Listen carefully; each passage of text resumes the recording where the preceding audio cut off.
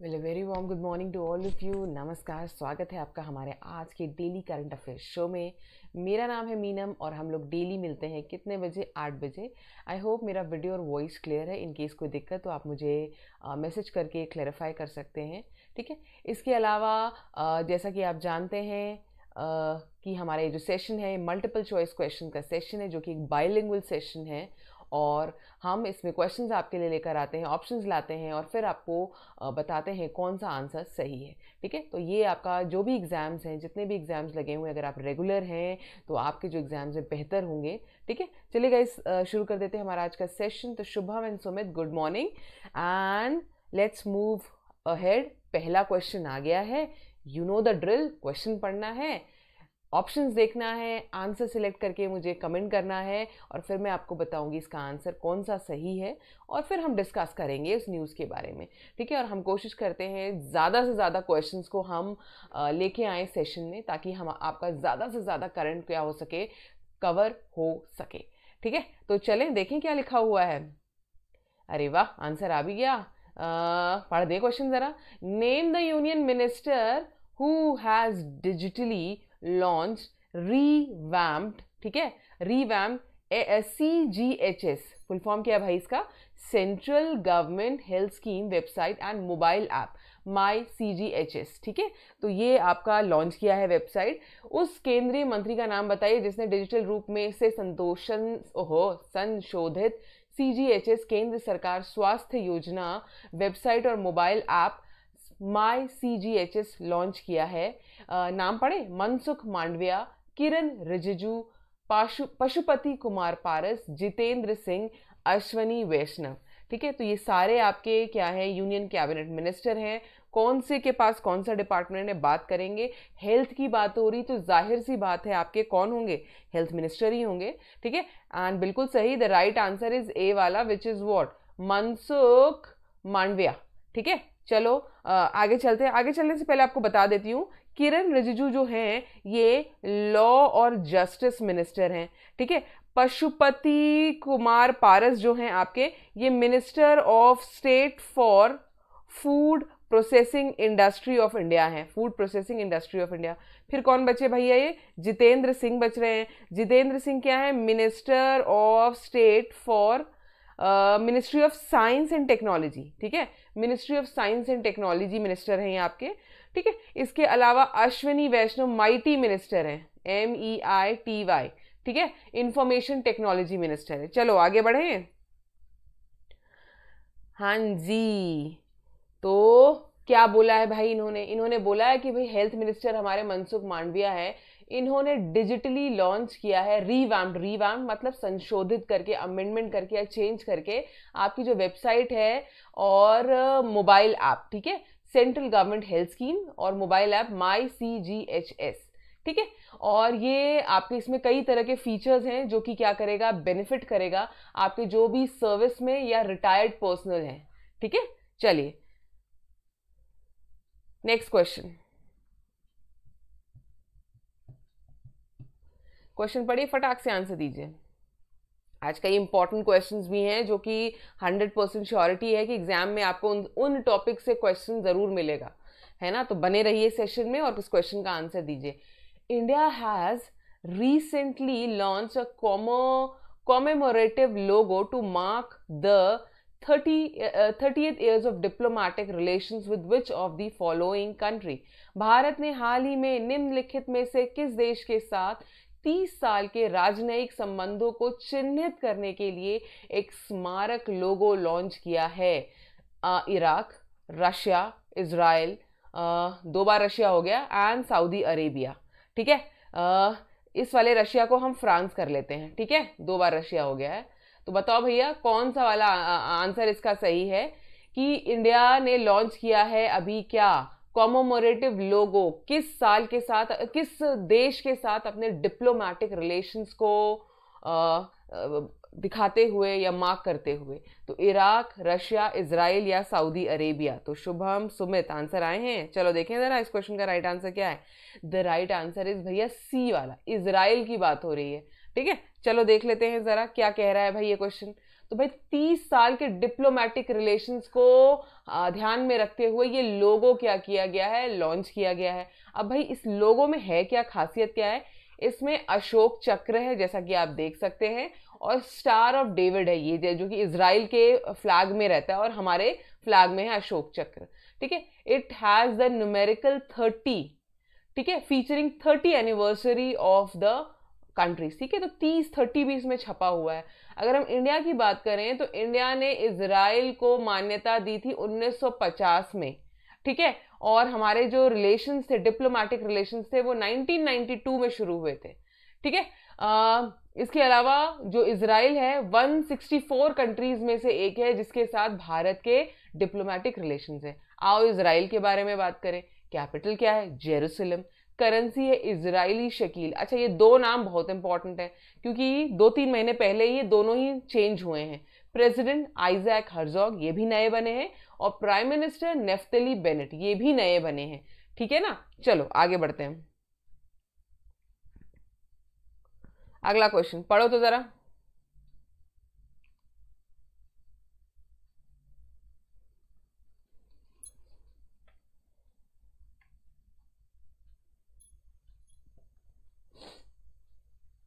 What is the rank of India in the Corruption Perception Index 2021 released by Transparency International transparency international द्वारा जारी भ्रष्टाचार धारणा सूचकांक 2021 में भारत का रैंक क्या है बारहवीं it means twelfth thirty fifth forty ninth sixty third या फिर एटी फिफ्थ ठीक है? तो एक चीज़ तो याद कर लो इंडेक्स वाला एक क्वेश्चन तो हंड्रेड परसेंट एग्ज़ाम में होता है और हम कोशिश करते हैं, जितने भी इंडेक्सेस हैं रिविजन भी कराते रहें, ठीक है? फ़िलहाल आपका करप्शन परसेप्शन इंडेक्स की बात हो रही है और ज़ाहिर सी बात है, नाम से पता चल रहा है, देश का, किसी भी देश के करप्शन लेवल को इसमें क्या किया गया है, चिन्हित किया गया है और उसके अकॉर्डिंग आपको क्या दी गई है? रैंक दी गई है। ठीक है? जिसकी जितनी ज़्यादा रैंक है, वो उतना बेहतर है वहाँ पे। करप्शन करप्शन नहीं है वहाँ पे। जितनी कम रैंक है, उतना ज़्यादा वहाँ पे करप्शन है। ठीक है? चलो देखें ज़रा। आओ देखें इस क्वेश्चन का आंसर रैंक नहीं पॉइंट ठीक है? जिसको जितने पॉइंट्स मिले हैं। पॉइंट ज़्यादा है तो करप्शन कम है। पॉइंट्स कम है तो करप्शन ज़्यादा है। और आंसर इसका मैंने क्या लगाया भैया? एट्टी फिफ्थ बिल्कुल सही भाई। एट्टी फिफ्थ वाले बिल्कुल सही हैं। आगे बढ़े। तो 180 देशों की लिस्ट है ये, जिसमें से भारत की रैंक कितनी है? एट्टी फिफ्थ है, पिचासी है करप्शन परसेप्शन इंडेक्स में। किसने जारी किया है ये?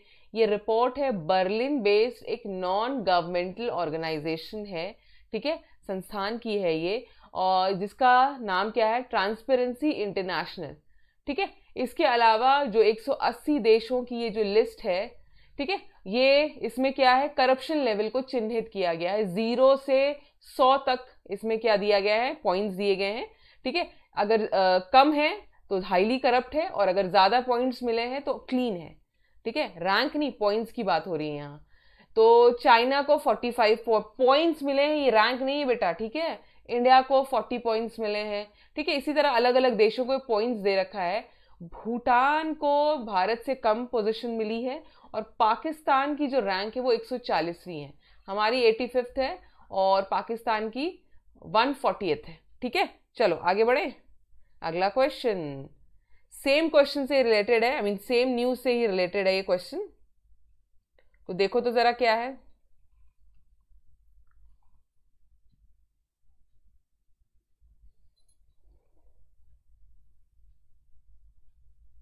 विच कंट्री हैज़ स्टॉप्ड ठीक है? In the corruption perception index 2021 release by transparency international ठीक है? तो ट्रांसपेरेंसी इंटरनेशनल द्वारा जारी भ्रष्टाचार, धारणा, सूचकांक में किस देश ने शीर्ष स्थान प्राप्त किया है?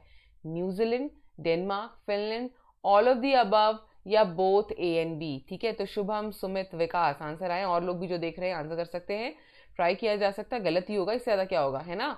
न्यूजीलैंड, डेनमार्क, फिनलैंड या ऑल ऑफ़ दी अबव या ए एंड बी आओ देखें, इसका आंसर देख लेते हैं। क्या है corruption perception index top position मिली है आपकी ऑल ऑफ़ द अबव यानी न्यूजीलैंड डेनमार्क फिनलैंड तीनों को टॉप पोजीशन मिला है, ठीक है? आओ इसके बारे में बात कर लें, ठीक है? और इनको इनको टॉप पोजीशन मिली है और ये इनका स्कोर 88 है, ठीक है? ये ये ये इनकी रैंक नहीं, ये इनका स्कोर है, ठीक है? चलो आगे बढ़ते हैं।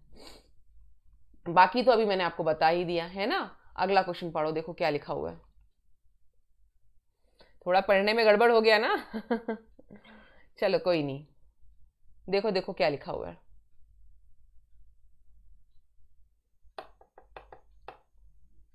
Union government has change spending norms for contingency fund of India as per new norm and amount equal in to what percent of the total fund corpus has to be placed at the disposal of the secretary ministry of finance expend expenditure secretary to meet the unforeseen expenditure यार देखो, बड़ा ध्यान से पढ़ो इस question को। काफ़ी चीज़ें तो क्वेश्चन में बता दी गई हैं, है ना?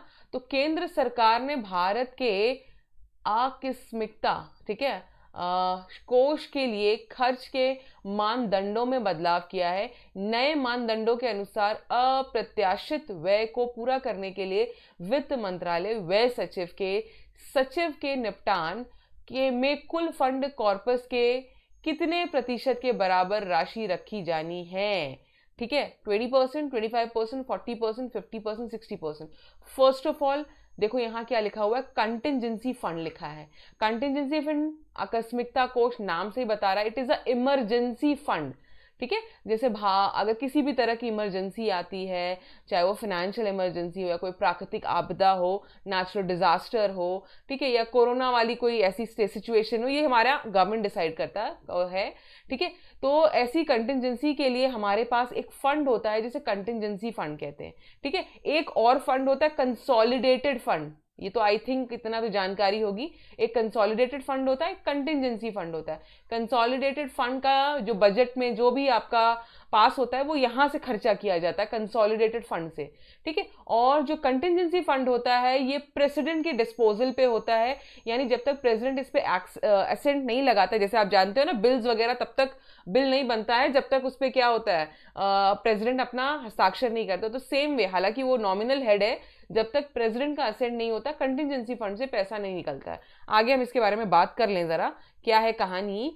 C is the right answer तो 40 परसेंट क्या है? जरा बात करते हैं। आओ। तो यूनियन गवर्नमेंट ने चेंज किया है स्पेंडिंग नॉर्म्स ठीक है? जो खर्च है कंटिजेंसी फंड से। कैसे? 21-22 में ये प्रपोज किया गया है बजट जो हमारा 21-22 का आया है, उसने प्रपोज किया गया है कि कंटिजेंसी फंड से अब तीस हज़ार करोड़ जो है निकाला जा सकता है फ्रॉम पाँच सौ करोड़। ये पाँच सौ करोड़ का पहले क्या था? एक वो था, एक लिमिट थी, अब उसे तीस हज़ार करोड़ कर दिया गया एक फाइनेंस बिल के थ्रू ठीक है? और ये इक्विवेलेंट होगा forty percent of the total fund corpus that has to be displace that has to be placed at the disposal of the secretary minister of finance expenditure secretary to meet the unforesee unforeseen expenditure तो जो भी अनदेखा हमारा खर्चा होता है ठीक है uh, उसके लिए ये आपका किया गया है ठीक है और मैंने अभी आपको बताया कि uh, ये जो कंटिजेंसी फंड होता है ये इमरजेंसी फंड होता है और ये on the behalf of president जो आपका होता है, ये कंटिजेंसी फ़ील्ड होता है फंड होता है, ये कौन रखता है? डिपार्टमेंट ऑफ़ इकोनॉमिक अफेयर्स के अंतर्गत होता है आपका बट प्रेसिडेंट के बिहाफ पे। ठीक है? डिजास्टर फंड है। ठीक है? चलिए, आगे बढ़ते हैं।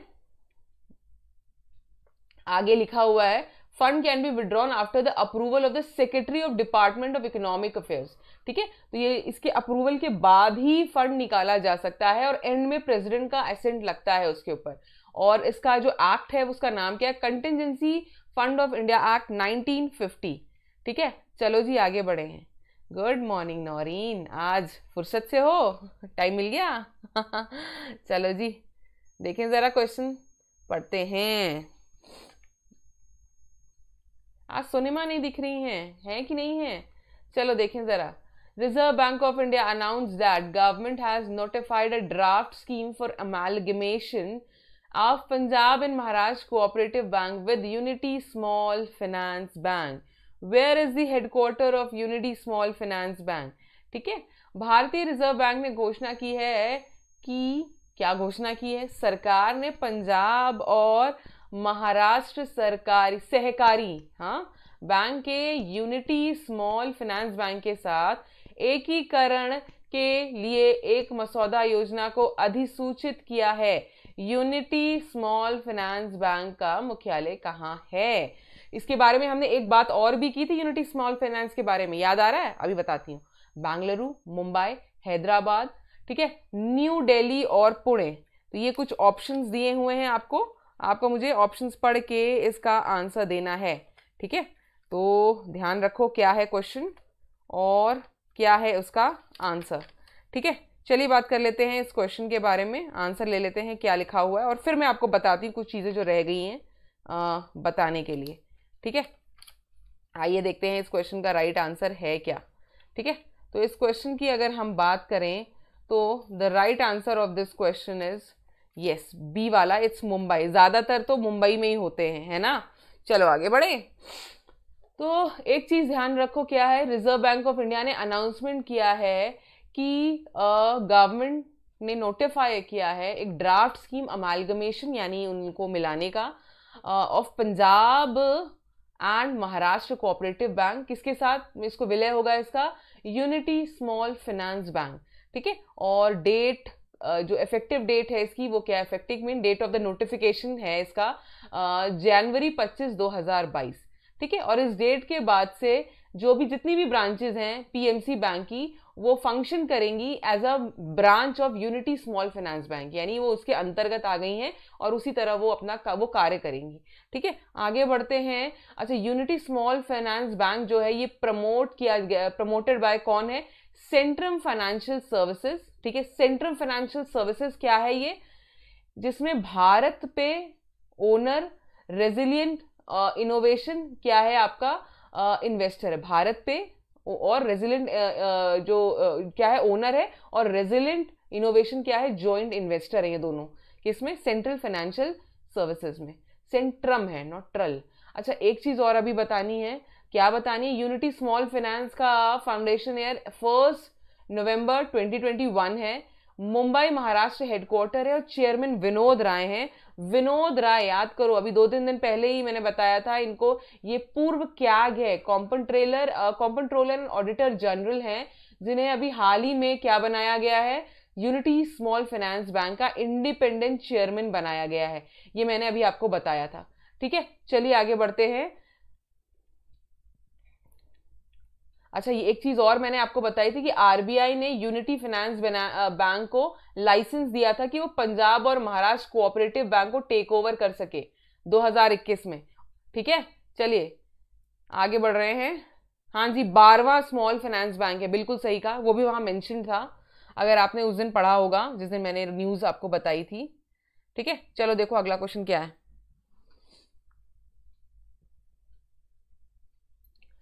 आईएमएफ से रिलेटेड और आपका ग्रोथ प्रोजेक्शन से रिलेटेड मैं बार बार कहती हूँ, ये क्वेश्चन इंपॉर्टेंट भी होता है बट क्या होता है चेंजेस होते रहते हैं तो keep on updating your data ठीक है?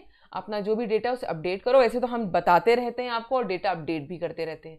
तो I M F has projected India economic growth forecast at dash for 2021 2022 in its world economic outlook IMF ने अपने विश्व आर्थिक आउटलुक में 2021-22 के लिए भारत के आर्थिक विकास का अनुमान डैश पर लगाया है।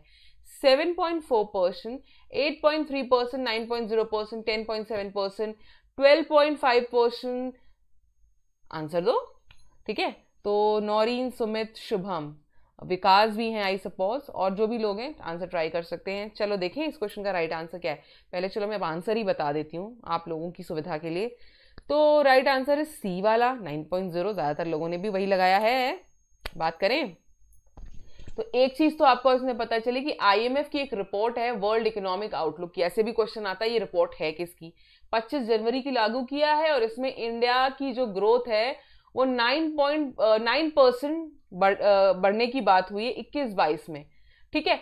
और अर्लियर अक्टूबर में, यानी जो हमने पहला डेटा बात की थी, उसमें कहा गया था 9.5 परसेंट होगा तो ये अभी कम कर दिया गया है, ठीक है? इसके अलावा 22-23 के लिए जो नया प्रोजेक्शन आया है, वो कितना है? 7.1 परसेंट है, किसका? इंडिया का, ठीक है? इसके अलावा अगर हम बात करें ग्लोबल इकोनॉमिक ग्रोथ की वैश्विक स्तर पे, अगर हम आर्थिक बढ़ोतरी की बात करें तो ये भी डिक्रीज होने की बात की है हाफ़ परसेंट से, जो कि पहले पॉइंट आउट की गई थी। ठीक है? यानी कि फाइव पॉइंट नाइन परसेंट हो जाएगी केस में दो हज़ार इक्कीस से, और four point four percent twenty twenty two के लिए। ठीक है? और आगे चल के थ्री पॉइंट एट परसेंट तक ये रिड्यूस हो जाएगा। ये डेटा यानी चेंज होना है, और अच्छा आओ आईएमएफ के बारे में हमने क्या बात की थी हाल फ़िलहाल में? अभी बात करते हैं। ये तो जानते हो आईएमएफ के एमडी का क्या नाम है? Kristalina Georgieva.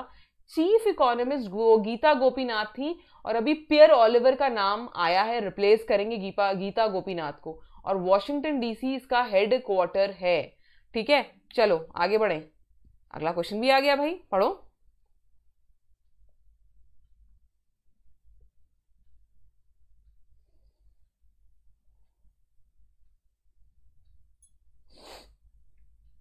क्या लिखा है जी? Which company has become a decacorn deca means ten होता है, दस होता है। Decacorn with a valuation of ten point seven billion after it signed a 700 million dollar funding round led by asset manager in Vesco. ठीक है? तो संपत्ति संपत्ति प्रबंधक इन वेस्को के नेतृत्व में 700 मिलियन के फंडिंग राउंड पर हस्ताक्षर करने के बाद कौन सी कंपनी 10.7 बिलियन के मूल्यांकन के साथ एक डेकाकॉन बन गई है? Zomato food panda Swiggy Faasos Domino's तो सारे फ़ूड आपके ऑनलाइन फ़ूड प्रोवाइडर्स हैं प्लेटफॉर्म्स हैं आपके, जहाँ से आप ऑर्डर करते हो, है ना? तो सबके बारे में आप जानते ही हो, डेकाकॉन यानी दस की बात हो रही है। और इस क्वेश्चन का राइट right आंसर है जी सी वाला स्विगी बिल्कुल सही कहा। ठीक है, आगे बढ़े। तो स्विगी ये फ़ूड ऑर्डरिंग और इंस्टेंट ग्रोसरी डिलीवरी प्लेटफॉर्म है ये आपका, जिसने साइन किया है 700 मिलियन का funding round led by asset manager Invesco के साथ ये डील साइन की है। और इसका टोटल वैल्यूएशन अब कितना हो गया है? 10.7 बिलियन और अब ये डेकाकॉन बन गया जैसे ही 10 बन गया है। तो यही आगे मेंशन किया हुआ है डेकाकॉन का मतलब क्या होता है? ठीक है? स्विगी लेट स्विगी का जो लेटेस्ट वैल्यूएशन है वो डबल है किसके वैल्यूएशन से? जोमैटो के वैल्यूएशन से। ठीक है? और जोमैटो का जो वैल्यूएशन वो कितना है? 5.4 यानी आधा है अभी। डेका तक पहुँचने के लिए अभी इसको डबल ग्रोथ करनी पड़ेगी। अच्छा स्विगी के फाउंडेशन ईयर क्या है? जुलाई 2014 बेंगलुरु हेडक्वार्टर बेंगलुरु है। फाउंडर्स है श्रीहिषा मजेती नंदन रेड्डी राहुल जेमिनी और सीईओ हैं श्रीहिषा मजेटी ठीक है? चलो आगे बढ़ते हैं। हमारा इंडियन ब्रांड है यानी चलो, आगे बढ़ रहे हैं, अगला क्वेश्चन आ गया है।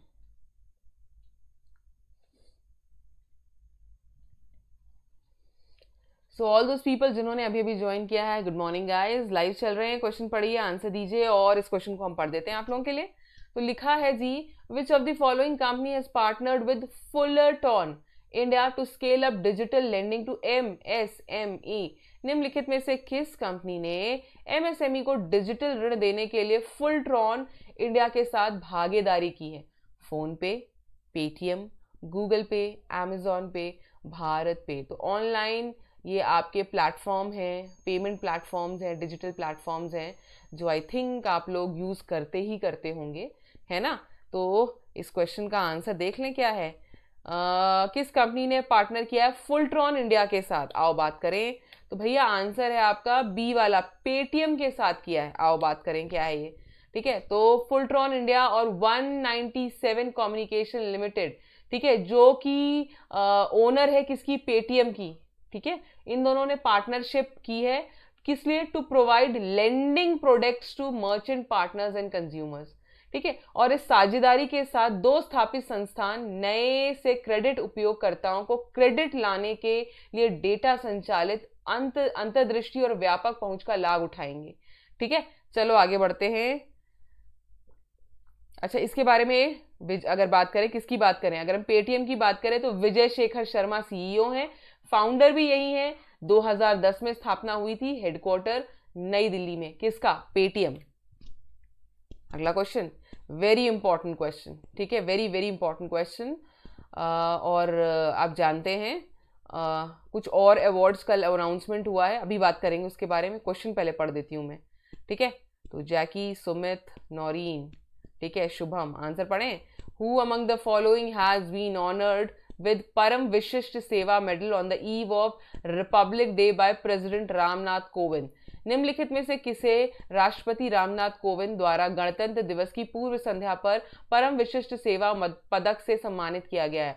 चनू, मीराबाई चनू, ठीक है? लवलीना बोर्गेन, नीरज चोपड़ा, मैरी कॉम, रवि कुमार दहिया ये सारे इंपॉर्टेंट नाम है। अभी बताती हूँ कौन कौन किस खेल से संबंधित है, ठीक है? और अभी रिसेंटली जो टोक्यो ओलंपिक्स हुए हैं, उसमें इन्होंने अपना अच्छा प्रदर्शन किया है, ये सारे लोगों ने। कौन किस खेल से संबंधित है, ये भी बताओ, अभी मैं बताती हूँ आपको। अच्छा रिपब्लिक डे की बात करें, कल हमने किया है तो क्वेश्चंस जो आ सकते हैं, कौन से नंबर का है? Seventy third Republic Day celebration था। ठीक है? चीफ गेस्ट कौन होते हैं? जानकारी के लिए बता दूँ पिछली दो बार से कोई चीफ गेस्ट नहीं है। ठीक है? 2020 में कौन थे भाई? हाँ president of Brazil Jair Bolsonaro ठीक है? 2020 में ये आखिरी चीफ गेस्ट थे जो uh, आए थे। ठीक है? जिनको कहा गया था और उसके बाद से अभी नहीं हो रहे हैं। चलो आगे बढ़ रहे हैं। इस क्वेश्चन का आंसर ले लेते हैं। ठीक है? चलो देखते हैं। अभी लिस्ट हम आपको पूरी दे देंगे। ठीक है? चलो देखते हैं। C is the right answer Neeraj Chopra is the right answer बिल्कुल सही। आगे बढ़ते हैं। तो भैया, नीरज चोपड़ा, ये इन्हें परम विशिष्ट सेवा मेडल से सम्मानित किया गया है प्रेसिडेंट कोविंद द्वारा, ठीक है? रिपब्लिक डे की के दिन। इन्हें गोल्ड मेडल मिला था। पहला गोल्ड मेडल, फ़र्स्ट ट्रैक और फ़ील्ड एथलीट हैं जिन्हें ये पहला गोल्ड मेडल मिला था, ठीक है? ये सूबेदार हैं। किसमें? इंडियन आर्मी में। फोर्थ राजपुताना राइफल्स में इनकी डायरेक्ट एंट्री हुई थी 2016 में, ठीक है? इसके अलावा इनको चूज़ किया गया है ट्रेनिंग देने के लिए मिशन ओलंपिक विंग और आर्मी स्पोर्ट्स इंस्टीट्यूट जो पुणे का है। अच्छा अभी एक और चीज़ बताऊँगी, अभी बता रही रुक जाओ। ठीक है, इसके अलावा हरियाणा गवर्नमेंट जो है वो इनका life size replica, Tokyo Olympic gold medalist जो है हमारे कौन? नीरज चोपड़ा का इन्होंने प्रेजेंट किया है किसमें? रिपब्लिक डे में, ठीक है? तो ये तो आप जानते ही हैं कि हरियाणा सर हरियाणा को बिलोंग करते हैं तो वहाँ की जो झांकी है, उसमें इनको दिखाया गया है। अच्छा हमने नीरज चोपड़ा के बारे में हाल ही में क्या बात की थी? एक तो ये इनको परम सेवा मेडल मिला है।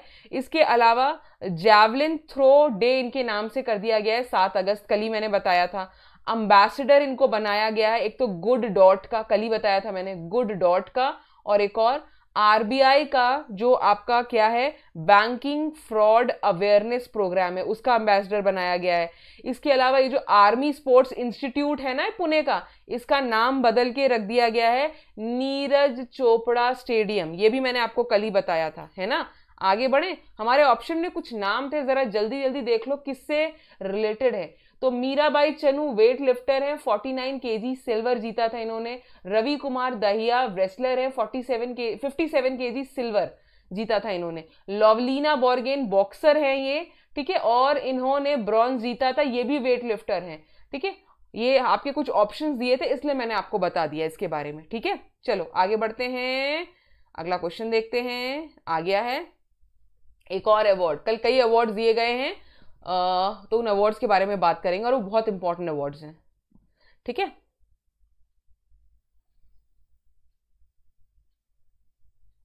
अगला क्वेश्चन भी पढ़ लो। क्या है?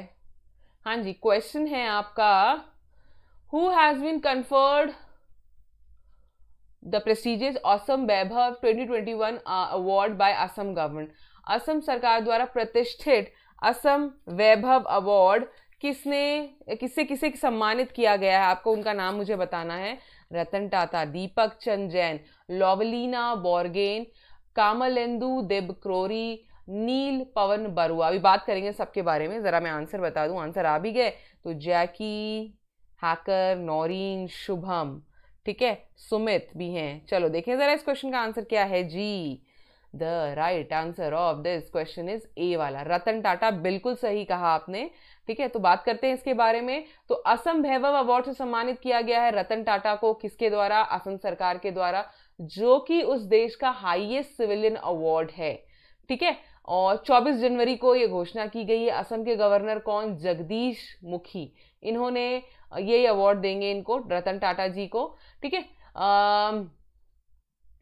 क्यों दिया है?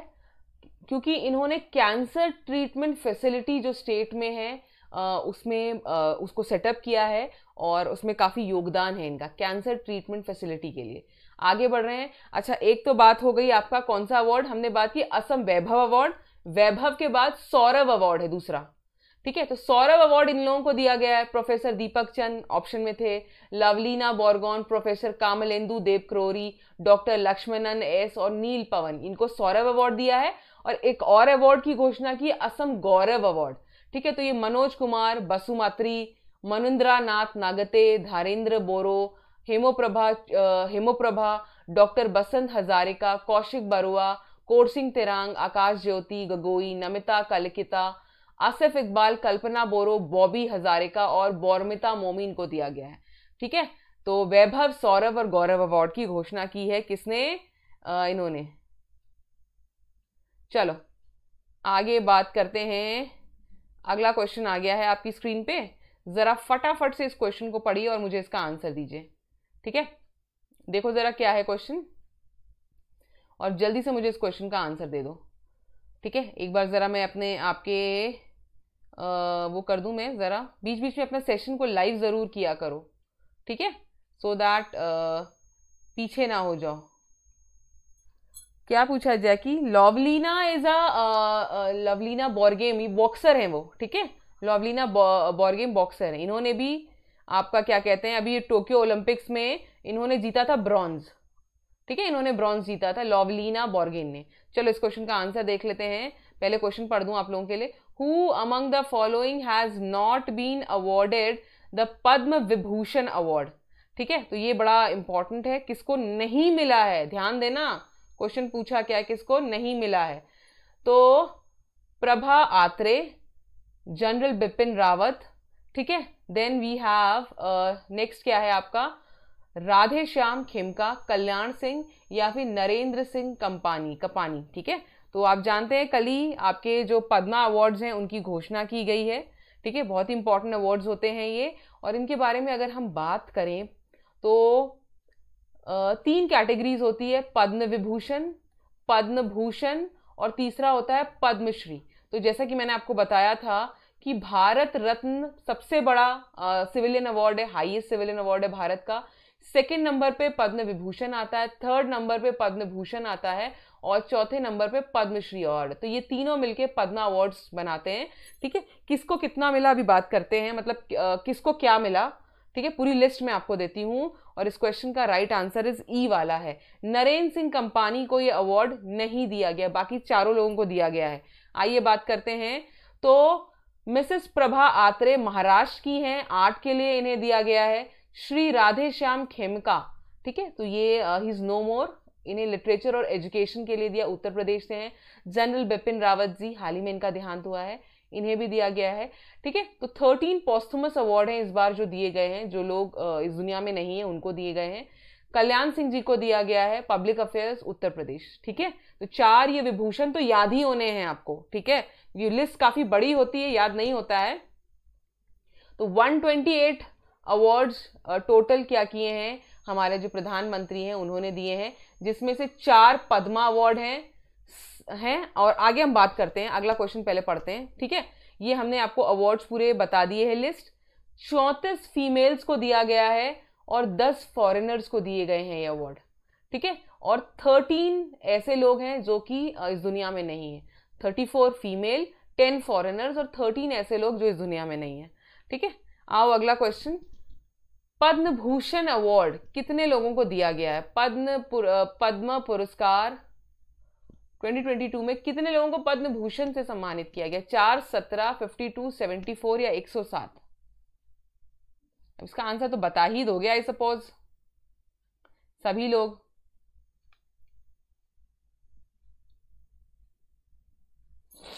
हाँ जी देखें क्या है इस क्वेश्चन का आंसर। ऑलमोस्ट uh, मैंने बता ही दिया है फिर भी ट्राई कर लो। चार सत्रह fifty two seventy four one zero seven very important categories हैं ये। और अच्छे से याद हो जानी चाहिए। And the right answer is B वाला। बिल्कुल सही, शुभम। ठीक है? कहाँ गया भैया? सत्रह is the right answer Sumit का भी आंसर आया चलो, आगे बढ़ते हैं। तो ये पद्मा अवार्ड की लिस्ट है। ठीक है? तो इसको आप देख सकते हैं। ठीक है? इसकी अगर हम बात करें तो काफ़ी बड़ी लिस्ट है। पूरा पढ़ना पॉसिबल नहीं है। ठीक है? तो मैं एक बार जूम कर देती हूँ। एक नज़र डाल लो। बाकी आपको पीडीएफ में मिल जाएगा। दो चार नाम पढ़ देती हूँ। गुलाम नबी आवाज़ को आज़ाद को मिला है, गुरमीत बाबा को मिला है, ठीक है, पंजाब से हैं, विक्टर बैनर्जी वेस्ट बंगाल से हैं, ठीक है, बुद्धदेव भट्टाचार्य वेस्ट बंगाल से हैं, नटराजन चंद्रशेखरन, ये भी महाराष्ट्र से हैं, ठीक है, मधुर जाफरी यूएसए से ये हैं देन आपका देवेंद्र झाझरिया राजस्थान, राशिद खान उत्तर प्रदेश, राजीव मेहरसी राजस्थान, सत्यनारायण नेडेला, ठीक है यूएसए ठीक है सुंदरराजन पिचाई। देखो, सत्या नडेला और सुंदरराजन पिचाई को भी मिला है। और ये देखो, ये तीन चार नाम बहुत इंपॉर्टेंट है। नडेला, पिचाई देन साइरस पूनावाला को भी मिला है ये अवार्ड ठीक है? क्या कौन सा अवार्ड पद्म भूषण अवार्ड याद रखना कौन सा वाला? प्रतिभा रे, उड़ीसा, सच्चिदानंद, गुजरात। ठीक है? वशिष्ठ त्रिपाठी, उत्तर प्रदेश। ये तीन नाम बहुत इंपॉर्टेंट है। नडेला, पिचाई और पूनावाला। ठीक है? चलो, आगे बढ़े। इसके अलावा ये पद्मश्री 107 लोगों को मिला है। गाइस पॉसिबल नहीं है इतना पूरा लिस्ट पढ़ना। ठीक है? चाहो तो इसका स्क्रीनशॉट ले सकते हो आप, नहीं तो अभी हम चैनल पर डाल देंगे। ठीक है ना? अभी जाके अलग से भी डाल देंगे, बाकी पीडीएफ में आपको मिलेगा। तो आप एक बार रीडिंग लगा लेना पूरा लिस्ट ठीक है? ये पद्म भूषण के नाम है पूरे। ठीक है? अगला क्वेश्चन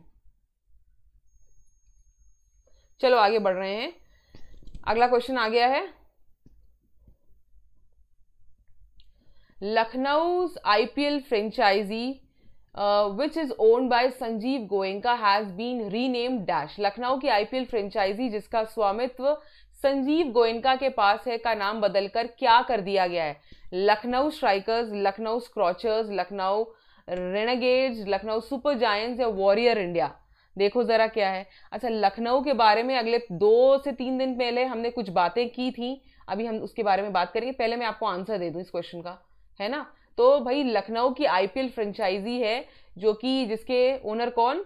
संजीव गोयंका हैं और उन्होंने रीनेम कर दिया है इसको क्या? स्ट्राइकर्स क्रॉचर्स रिनेगेड्स जा, सुपर जायंट्स या वॉरियर इंडिया चलो देखें क्रिकेट का सवाल है तो आंसर तो पता ही होगा डी वाला। बिल्कुल सही। Lucknow Super Giants is the right answer आगे बढ़े। तो भैया आईपीएल की स्थापना 2008 में हुई थी। टोटल टीम दो दस हैं। 2022 से 10 हो जाएँगी। अगला एडिशन 22 में होना है। सबसे सक्सेसफुल टीम मुंबई इंडियंस है, जिसने अब तक पाँच टाइटल जीते हैं। ठीक है? इसके अलावा सुपर जायंट्स अगर आईपीएल फ्रेंचाइजी की बात करें, ठीक है? तो इसका नाम अब बदल के लखनऊ सुपर जायंट्स हो गया है। अच्छा टीम को के राहुल किसके कैप्टन बनेंगे। ठीक है? और ऑस्ट्रेलिया के ऑलराउंडर मार्कस टॉयनेस और लेग स्पिनर क्या करेंगे? ये इसका पार्ट ज़रूर होंगे, इसका पार्ट बनेंगे। ठीक है? चलो, आगे बढ़ते हैं। लखनऊ के बारे में हमने क्या बात की थी? हमने बात ये की थी कि Syed Modi international badminton tournament Lucknow में आयोजित किया गया। अभी हाल ही में बाबू बनारसी दास स्टेडियम में और पीवी सिंधु ने विमेन सिंगल्स जीता है। और बाकी और लिस्ट में मिक्स डबल्स विमेन सिबल्स ये सब लिस्ट दी हुई है, बाद में देख लेना। दूसरी चीज़ हमने क्या पढ़ी थी लखनऊ के बारे में? इंडिया की पहली पैरा बैडमिंटन अकेडमी को बनाया जाएगा कहाँ पे? लखनऊ में। पैरा बैडमिंटन अकेडमी ये भी इंपॉर्टेंट है। ठीक है? चलो, आगे बढ़े और अगला क्वेश्चन पढ़े। देखो आया। जी हाँ आ गया है। अगेन इंपॉर्टेंट क्वेश्चन ठीक है? तो आज के जो सेशन है, उसमें क्वेश्चंस काफ़ी इंपॉर्टेंट हैं तो थोड़ा ध्यान दीजिएगा। हिमाचल प्रदेश का statehood day is celebrated every year on dash. Himachal Pradesh राज्य स्थापना दिवस हर साल डैश को मनाया जाता है। 25, 26, 27, 28, 29 डेली बेसिस पे एक आधा डे मैं डिस्कस करती हूँ ठीक है? ट्वेंटी फिफ्थ को ट्वेंटी सिक्स को twenty seven twenty eight twenty nine. Twenty fifth को नेशनल वोटर्स डे बनाया था हम लोगों ने है ना? चलो और बात कर लेते हैं। जैसे जैसे आगे बढ़ते जाएँगे सत्ताईस अट्ठाईस उनतीस हम बताएँगे आपको। अच्छा ये तो स्टेटहुड डे बात हो गई किसकी हिमाचल प्रदेश की। दो दिन पहले मैंने एक और स्टेट के बारे में बताया था, जिसने अपना स्टेटहुड डे बनाया था, स्थापना दिवस बताया, बनाया था। तो वो भी बताओ और ये भी बताओ। ठीक है? तो जैकी, हैकर, सुमित, नौरीन, ठीक है? जरा देखें इस क्वेश्चन का राइट आंसर क्या है। सबने 25 लगा दिया है जी। तो वाह भाई, जब 25 लगाया तो 25 आंसर भी होगा। 25 को नेशनल वोटर्स डे भी मनाया गया है और हिमाचल प्रदेश का स्टेटहुड डे भी है। बात करें? तो हिमाचल प्रदेश ने सेलिब्रेट कर रहा है फिफ्टी सेकेंड अपना स्टेटहुड डे 25 जनवरी को। दिसंबर 18 1970 में इसकी स्थापना हुई थी ठीक है? और 71 में इसे राज्य का दर्जा किया मिला था ठीक है? 71 में राज्य का दर्जा मिल गया था इसको। एक्ट पास 70 में हुआ था। इसके अलावा हिमाचल प्रदेश भारत का अठारवा क्या बना था? आ, स्टेट बना था। और इसके जो पहले सीएम थे, उनका नाम क्या था? यशवंत सिंह परमार। पहले सीएम थे। ये भी पता होना चाहिए। ठीक है? आगे बढ़ते हैं। भैया, दो दिन पहले हमने बात की थी किसकी? एक और स्टेट की। मणिपुर, मेघालय और त्रिपुरा ने अपना स्टेटहुड कब बनाया 21 जनवरी को मैंने आपको बताया था। ठीक है? और इन्हें भारत में विलय किया गया किसको? मणिपुर और त्रिपुरा को। 1949 में मैंने बताया था ना, पहले प्रिंसली स्टेट्स थे। ठीक है? इसके अलावा 1972 में मेघालय और त्रिपुरा को स्टेटहुड का दर्जा दे दिया गया। पहले ये यूनियन टेरिटरीज है 1949 में ना यूनियन टेरिटरी का दर्जा दिया गया था। ठीक है? चलो। तो गाइज़ अगला क्वेश्चन आ गया है। क्वेश्चन पढ़ो। इसका आंसर भी मैंने लगभग बता ही दिया है। India celebrated its dash Republic Day on 26 जनवरी 2022 26 जनवरी को भारत ने अपना कौन से नंबर का गणतंत्र दिवस मनाया? इंपॉर्टेंट होता है ये क्वेश्चन भी। 69, 78, 71, 72, 73 बताओ तो जरा। हाँ जी बिल्कुल। हिमाचल के शिमला कैपिटल जयराम ठाकुर और राजेंद्र जयराम ठाकुर सीएम और राजेंद्र अरलेकर गवर्नर। बिल्कुल सही। चलो देखें। What is the right answer of this question कुछ सेकंड्स दीजिए जरा मुझे। जरा सेशन लाइव कर लें सो so दैट हम आपके कमेंट्स पढ़ सकें। ठीक है? सो ऑल दोज पीपल जो अभी अभी आए हैं गुड मॉर्निंग गाइस क्वेश्चन पढ़िए आंसर दीजिए। फ़िलहाल बहुत बहुत ही आसान सा क्वेश्चन है। इसका आंसर तो सभी दे सकते हो। And the right answer is exactly seventy third ही लगाया ना इन्होंने? हाँ जी, बिल्कुल। Seventy third is the right answer आगे बढ़े। तो भैया 26 जनवरी को हमने मनाया है सेवेंटी थर्ड रिपब्लिक डे और आप जानते हैं कि हम लोग सेवेंटी फिफ्थ ईयर मना रहे हैं आज़ादी का अमृत महोत्सव का ठीक है? और इस दिन 26 जनवरी को हमारा जो संविधान है वो आ, लागू हुआ था ठीक है? It replace Government of India Act 1935 as the governing document of India ठीक है? चलिए। अच्छा अगर हम बात करें तो according to Ministry of Defence पहली बार इंडियन एयरफोर्स ने क्या किया है? ग्रैंड फ्लाई पास्ट किया है। 75 एयरक्राफ्ट और हेलीकॉप्टर्स का ये भी एक इंपॉर्टेंट चीज़ है। यानी हमारी वायुसेना ने प्रदर्शन किया है अपने अपने दमखम का, ठीक है? इसके अलावा a drone show by 1000 indigenously developed drones has been plan for the Beating the Retreat ceremony along with projection mapping will be shown for the first time ठीक है? चलिए, आगे बढ़ रहे हैं। द्रोण का प्रदर्शन भी किया गया है यहाँ पे। तो गाइज़ ये आपकी लिस्ट थी। डेज़ uh, हम डेली बेसिस पे मैं एक बार बता देती हूँ। इसके अलावा 26 जनवरी को एक दिन और मनाया जाता है। ठीक है? एक तो 26 जनवरी होता है और एक दिन कौन सा होता है?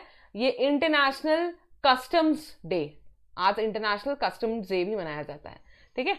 चलो भाई बाकी जैसे जैसे डेज़ आएँगे हम बात करते जाएँगे। तो guys this was the session I hope आपको अच्छा लगा होगा। ठीक है? तो सेशन को लाइक शेयर करना मत भूलिएगा। बाकी नेम आप देख सकते हैं। टाइप करिए टेलीग्राम पे। चैनल मिलेगा चैनल ज्वाइन करिए। पीडीएफ आपको वहाँ से मिल जाएगा। अभी पद्मा वाली मैं लिस्ट पूरी डाल दूँगी वहाँ पे। एक बार पढ़ लेना, ठीक है? प्लस आपका अगर आप, क्या कहते हैं, आप अलग अलग एग्ज़ाम्स की तैयारी कर रहे हैं तो आप हमारी वेबसाइट को विज़िट करिए test dot ambitious dot com ठीक है? और जो भी अपडेट्स हैं related to bank SSC railway या अदर प्रमोशनल एग्ज़ाम्स आपको वहाँ से सब मिल जाएगा। तो गाइज़ मिलते हैं हमारे कल के सेशन में। कितने बजे? आठ बजे। भूलिएगा मत। थैंक यू एवरी ठीक है? थैंक यू नौरीन चलो भाई, कल के सेशन में मिलते हैं। तब तक के लिए आप सभी लोग स्वस्थ रहिए, सुरक्षित रहिए और अपना ख्याल रखिए। धन्यवाद।